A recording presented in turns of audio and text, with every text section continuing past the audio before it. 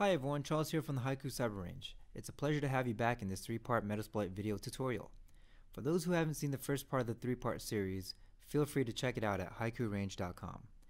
In the first part of the series, we've explained how to scan your environment with Metasploit and keep a database of the hosts, vulnerabilities, and services running in the environment you are cyber pen testing.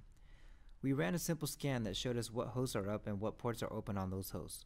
We also found out that one of those hosts may be vulnerable to the dreaded Eternal Blue. In this video, we will go in depth and talk about scanning to get more information and using the search feature to find and use auxiliary scanners from Metasploit. Let's go ahead and dive into Metasploit.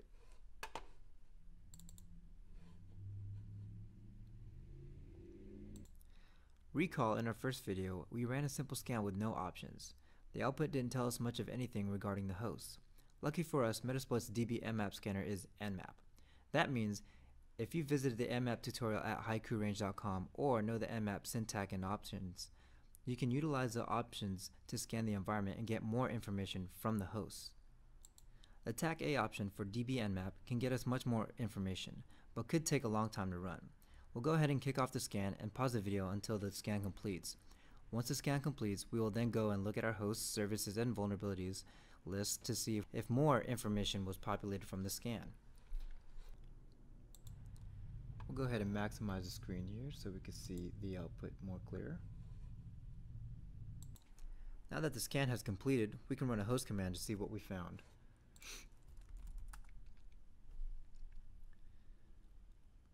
Notice after this scan, we know the OS and the purpose of the host.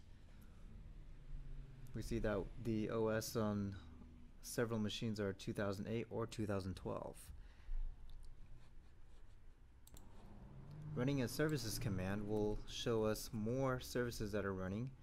It'll show the port number, the protocol, the service, and also some service versions. The, the service version can guide us in the right direction later on when we want to find exploit for outdated versions and vulnerable services. Now let's run the vulns command to see if we find anything else interesting.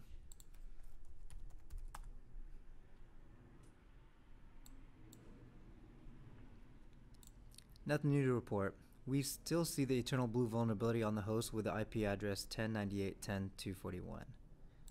We sure got more details from the Nmap scan with TAC A option. Metasploit also have auxiliary modules that can help you perform scanning, sniffing, and fuzzing, so we'll dive into that. Since we saw the SSH and FTP service running, we can see if there's an auxiliary scanner to run against FTP and SSH we'll go ahead and click the, we'll go ahead and type search F, or SSH and see what we find. To use the scanner, all you have to do is type in use and then the file path that they're in. For example, let's do this search um, SSH enum users. So we'll do, let's go ahead and use the SSH enum user scanner so we can find SSH users. Simply type user use auxiliary scanner SSH SSH underscore enum user. From here you type options to see what commands you can fill in. Anything marked yes under required means you'll need to fill out the variable before running the scan. So it looks like we have yes on our hosts, our port, threads, and threshold.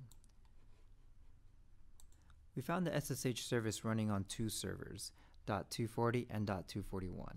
So we'll go ahead and set the R host to .240 and .241.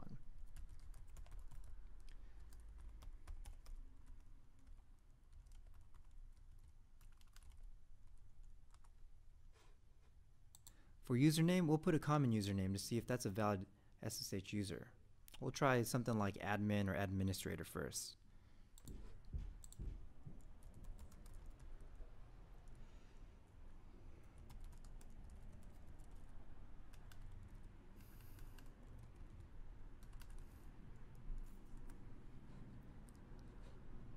Once we have that set, we'll type in options to verify the variables, and then we'll run the scan. So here, after after typing options, we see that we set the username as administrator, our host as 1098.10.240 and 241. And so we'll see if there's a user administrator for SSH credentials. And it doesn't look like that's set. So let's try another username. We'll go ahead and set the username to admin. And then verify our variables and then run the scan.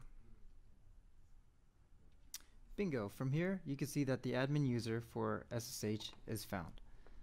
We can simply do the scan for FTP users as well.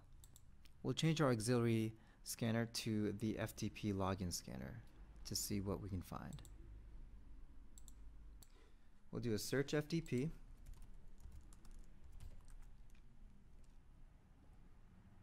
Then we will use the FTP login module.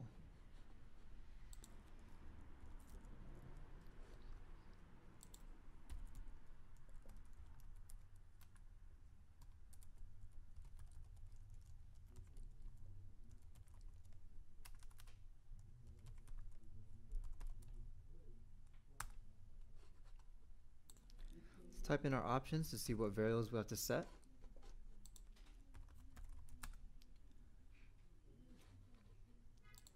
We'll change the R hosts to .240 and .241.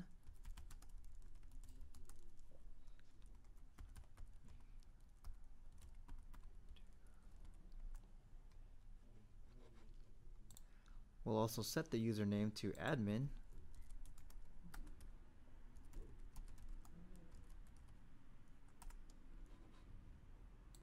But this time, we'll use something else for the password. Metasploit has a built-in password list for known passwords. We'll try to configure our scanner to look at that password list and try to brute force our way into the FTP server. We will set the pass file to where the password list is found in the Metasploit database.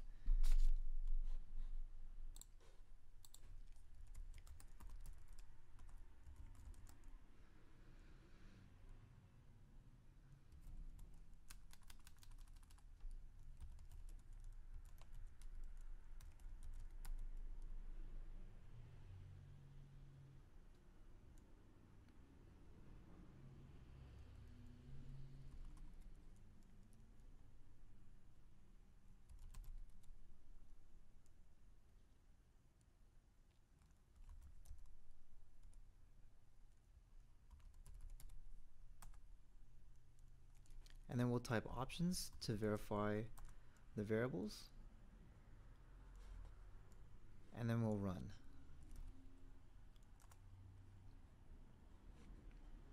Looks like we found a credential. On the IP address 1098.10.241 on the FTP port 21, username is admin, and we have a password of password123. Since we are connected to the Metasploit database, we now have the credentials saved. If you type creds to view the credentials, it'll show what we've gathered. Here it shows 1098.10.240 and 241 have SSH username as admin, but 1098.10.241 uh, port 21 FTP, you've got a username of admin and the password password123. Well, that's all for this video tutorial. Stay tuned for part 3 for our Metasploit videos.